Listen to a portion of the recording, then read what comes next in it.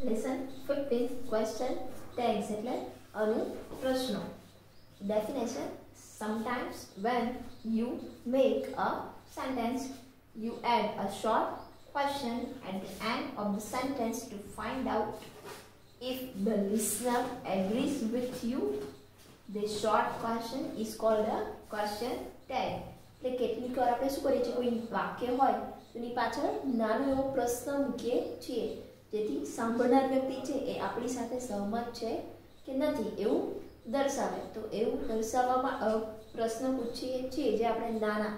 તો એને શું કહીએ છીએ આપણે? ક્વેશ્ચન ટેગ કેટલીક વાર આપણે શું કરીએ છીએ? કોઈ નિવેદન અથવા તો કોઈ વાત કરતા હોય તો કોઈ વાક્ય હોય એની પાછળ શું કરીએ? નાનો પ્રશ્ન પૂછીએ. જેથી સાંભળનાર છે એ આપણી સાથે સહમત છે કે નથી. એવું શોધી શકાય. તો આવા જે ટૂંકા નાના નાના પ્રશ્ન છે એને શું કહીએ છીએ આપણે? ક્વેશ્ચન ટેગ અથવા તો અનુ પ્રશ્નો. Let's say example Vinod and Sachin are at school Vinod અને સચિન શાળાએ છે. આરંભ દે નહીં કે? તો પ્રશ્ન પૂછો કે નહીં કે? તો એ છે કે નથી? તો તમે કહેશો હા, છે કે નથી? તો આ જે ટૂંકા પ્રશ્ન છે કે આરંભ દે, તો આ શું છે? ક્વેશ્ચન ટેગ સેકન્ડ છે, રાધા બ્રોટ હર હોમવર્ક રાધાએ તેનું ગૃહ કાર્ય લખ્યું. તો તેણે લખ્યું? આવું નાનો પ્રશ્ન થયો. Didn't she? એટલે તેણે લખ્યું, તો આ જે નાનો પ્રશ્ન છે. એને શું કહીએ છીએ આપણે? Question tag he is in the room તે રૂમમાં છે. તે છે ને? એવો જે નાનો પ્રશ્ન પૂછો છો, એ શું થયું? ક્વેશ્ચન ટે કે isn't he so now see rules of how to make question tags. General rules of question tags. એટલે અનુપ્રશ્નના બનાવવા માટેના અહીંયા રૂલ્સ નિયમો આપેલા છે.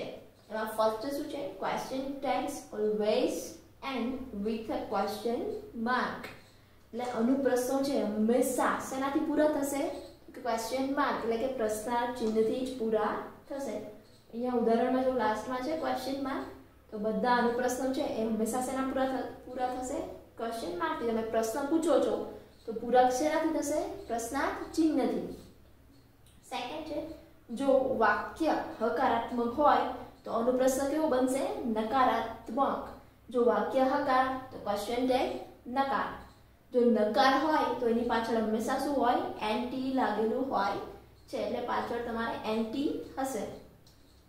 એક્ઝામ્પલ છે કે mister Patel has a new car mister પટેલને નવી ગાડી છે આ વાક્ય હકાર થયું જો વાક્ય હકાર તો આ ક્વેશ્ચન ટેગ છે કેવો બનશે નકાર બનશે કેવો બનશે નકાર so let's see it mister Patel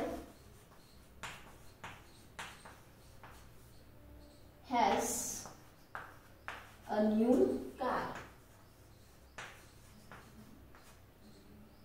હવે વાક્યમાં ક્વેશ્ચન ટેગ બનાવો પહેલા ચેક કરો કે સાયકાર ક્રિયાપદ છે આમાં કેવું છે હેઝ તો પહેલા લખશો હેઝ હવે વાક્ય કેવું છે હકાર જો વાક્ય હકાર તો ક્વેશ્ચન ટેગ કેવું બનશે નકાર એટલે અહીંયા શું લગાડશો તમે એન્ટી નકાર બનાવવા માટે હવે મિસ્ટર પટેલ નામ છે તો એના માટેનું સર્વનામ કયું આવશે હી એટલે શું ક્વેશ્ચન ટેગ શું બનશે હેઝન્ટ હી નેક્સ્ટ જો જો વાક્ય છે એ કેવું હોય? નકારાત્મક હોય. એટલે જો વાક્ય નકાર તો ક્વેશ્ચન ટેગ કેવું બનશે? હકારાત્મક. એમાં એન્ટી કાઢેલું હોય છે. એટલે કે નોટ હોતું નથી. વાક્ય નકાર તો ક્વેશ્ચન ટેગ હકાર.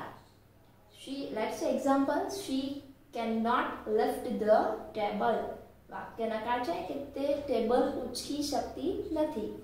જો વાક્ય નકાર તો question tag હકાર. So let's understand it. she cannot lift the table વાક્યમાં સહાયકારક ક્રિયાપદ કયું છે કેન તો પહેલા આપણે એ લખશું વાક્ય કેવું છે નકાર નોટ આવ્યું અહીંયા તો વાક્ય નકાર તો ક્વેશ્ચન ટેગ હકાર અહીંયા સી ઓલરેડી સર્વનામક છે તો એ મૂકી દઈશું કે કેન સી શું તે ઉચકી શકે Now let's see some short forms. Uh, will not. Will not. તો એનું શોર્ટ ફોર્મ શું થશે want. is not. તો એનું શું થશે isn't. are not. તો એનું શું થશે aren't. I am. તો એનું શું આવશે I am.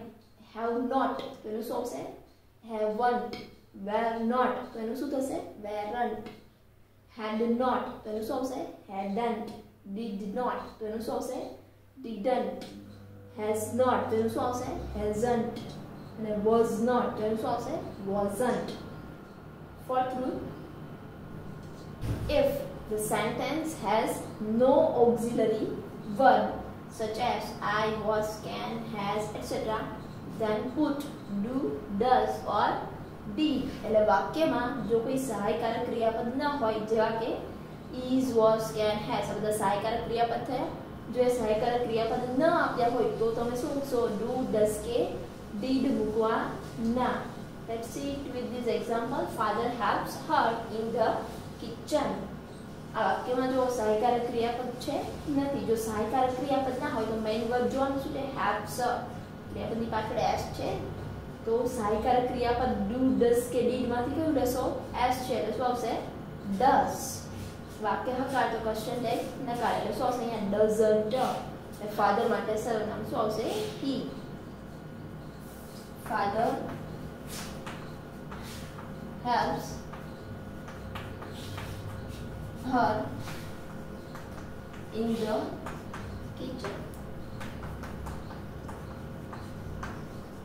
વાક્યમાં જો સહાયકારક ક્રિયાપદ છે નથી તો મેઇન વર્બ કયું છે હેલ્પ્સ ની પાછળ શું છે એસ જો ક્રિયાપદની પાછળ એસ હોય તો અહીંયા સહાયકારક ક્રિયાપદ કયું લેશો ડઝ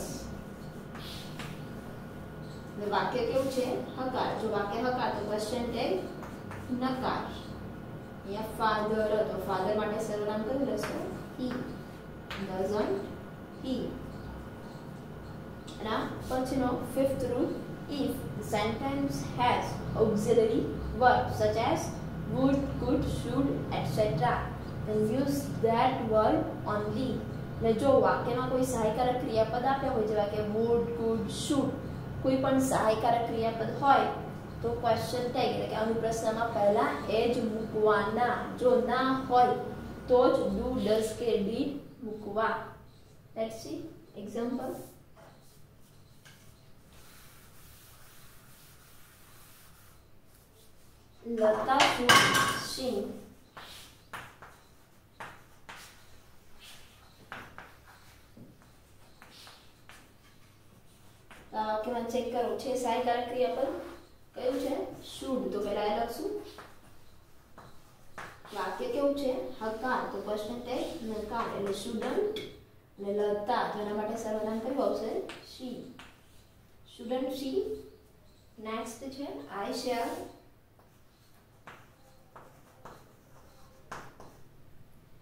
write